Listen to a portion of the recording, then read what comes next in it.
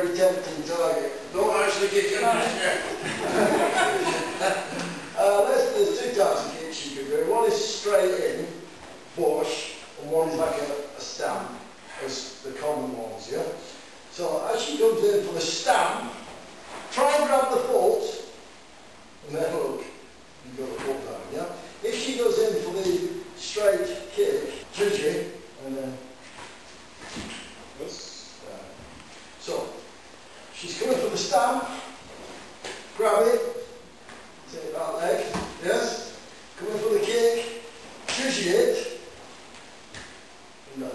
Now, be careful with these, these will damage your knee very easily, yes? Okay, there you go. Back in what would you do? I'm coming into the... Good. So he's trying to keep his legs at me, that's exactly what he should do, yeah? So then you counter or something like that, Oh! That's how you go into the move. Sorry, you're up. It's fine.